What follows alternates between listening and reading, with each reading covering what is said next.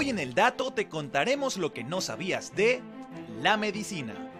Dato 1. El estetoscopio, aquel equipo que utilizan los doctores para escuchar los latidos del corazón, fue un invento por el médico francés René Laennec en 1816 e inicialmente era un aparato de madera. Dato 2. La penicilina, que sirve de gran ayuda en estos días, fue descubierta por Alexander Fleming por pura casualidad el 28 de septiembre de 1928, cuando se dio cuenta en su laboratorio que los cultivos de bacterias que él tenía para estudiar estaban muertas a causa de un hongo generado por las mismas bacterias. Dato 3.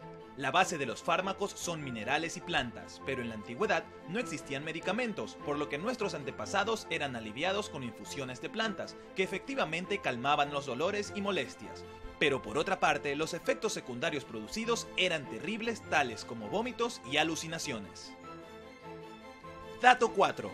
Antes las operaciones eran realizadas sin ningún elemento anestésico, por lo que existía un terrible dolor, pero en el año de 1846, en el Hospital General de Massachusetts, el doctor John Collins Warren extirpó un tumor en el cuello del paciente Gilbert Abbott, el cual no sintió nada de dolor luego de oler un paño con un líquido denominado éter.